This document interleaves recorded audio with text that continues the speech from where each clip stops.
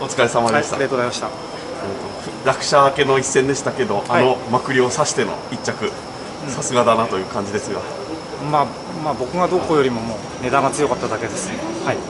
でそのお体の具合としては実際一掃してみていかがでしたか？そのまあ体の体調よりもですね、まあ、あの落車後のそのなんですかね恐怖感が体に染みついちゃってるんで、まあ、そこは走りながら、えー徐々に克服していかなきゃならないところだと思うんですけど、はでその落車してしまったレースなんですけれどあの、はい。新山さんの番手で、い。はい。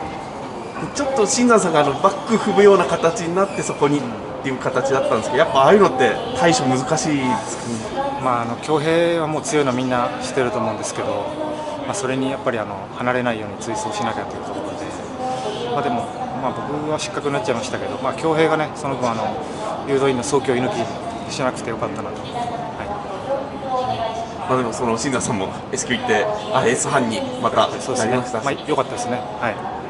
ね北日本のこう佐々木さんの地位なんかもしっかり上がって年々。い。